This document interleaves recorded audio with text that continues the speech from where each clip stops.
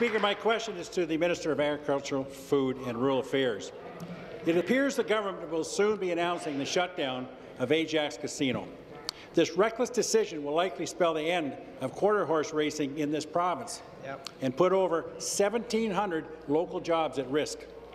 The mayor of Ajax, Steve Parish, said, we have been fighting to protect the Ajax Casino and quarter horse racing. But MPP Joe Dickson has given up by writing a two-page letter. Stop the clock. I've uh, mentioned to members in this House once before, well, actually several times, take care of yourself, take care of your critics role, but leave other members out of this when it comes to doing work within their own riding. Carry on. On this side of the House, Speaker, we are not giving up either. Order. To the minister, will you stand up for the people of Ajax and rural jobs, or would you rather be remembered as the minister that killed quarter horse racing in Ontario? Thank you. Thanks very much, uh, Mr. Speaker. I do appreciate the question from my colleague uh, from Perth Wellington.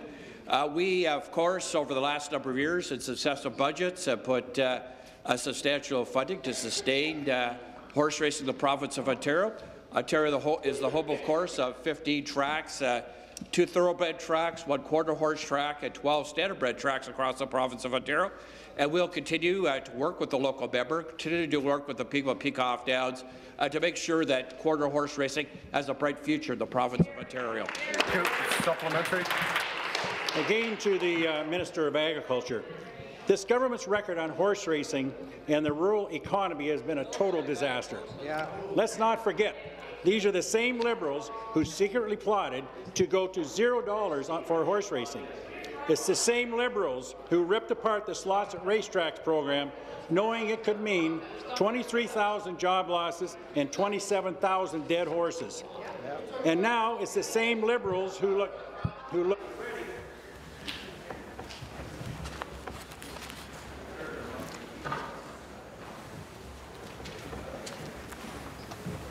Finish, please. And now it's those same Liberal speaker who look ready to destroy quarter horse racing for crass political reasons. Yep. Speaker, I support Ajax Council's demand. Stop the clock, please.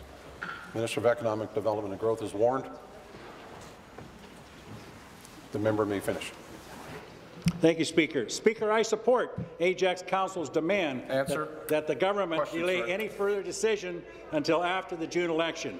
To the minister, will you do the right thing and apologize to the town of Ajax and horse people across the province? Mr. Speaker, I want to um, I want to thank uh, the member for supplementary, but Mr. Speaker, I want to provide a little history here. One, job John Snobelen, who had a very distinguished career on that side of the House, when he was part of the panel, along with Albert Buchanan and John Wilkinson, Mr. Snobelen was the guy that said the SARPA racetrack program was not transparent and accountable, that changes need to be given. Whoa. A very astute observation from someone who sat on that side in that caucus for a long period of time. But you know, when you really want to look at the architect of the problems that Ajax Down is having, what needs to look at what Rod Phillips who is a bit of an architect of what for? happened with regards to this. And secondly, the member from Ajax Pickering is a tireless defender Here. of horse racing at Ajax Downs.